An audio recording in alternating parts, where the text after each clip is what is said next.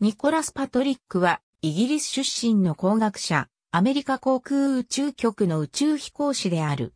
2006年に STS-116 で宇宙を訪れ、イギリス人として5人目の宇宙飛行を果たした。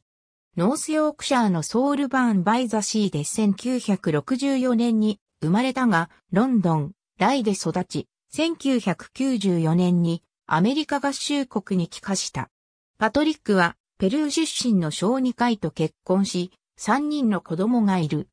パトリックはハーロー校とトリニティカレッジで教育を受け、1986年に工学の学士号を得た。大学生時代には、ケンブリッジ大学航空隊のメンバーとなって飛行機の操縦を覚えた。卒業後は4年間、ゼネラルエレクトリックの航空機エンジン部門で技術者として働いた。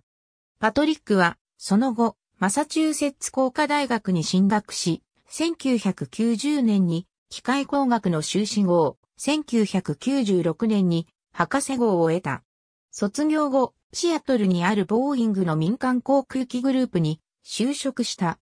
キューポラの外側から撮影した STS-130 で宇宙遊泳をするパトリック・パトリックは1998年6月に NASA に宇宙飛行士候補として選ばれ、ジョンソン宇宙センターで1998年8月から訓練を受けた。